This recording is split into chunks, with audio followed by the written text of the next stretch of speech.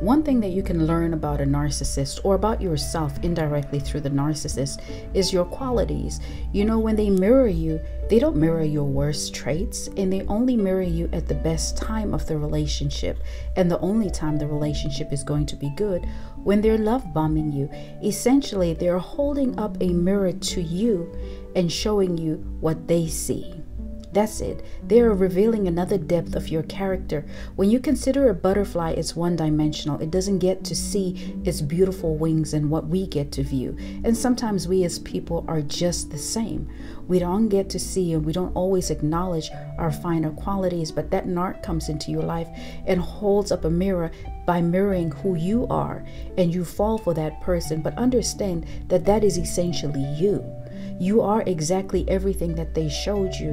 What you get to experience throughout the relationship and at the discard is their true identity. Now consider who you are. Consider everything that you brought to the table, everything that you showed them, everything that you offered, everything that you embody, and ask yourself this Do you deserve that?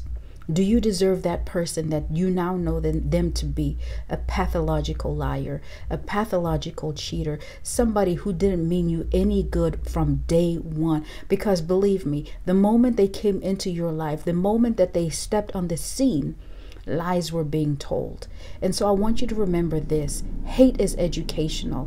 When you find out what the narcissist hates about you, you find out what makes you so valuable. And they do this without you, without them even knowing. So that's about the only thing we can take away from these relationships because they are non productive and they don't lead us anywhere but into a pit of misery. But you don't belong there. You come forth, you come from behind and fearlessly pursue your most significant states.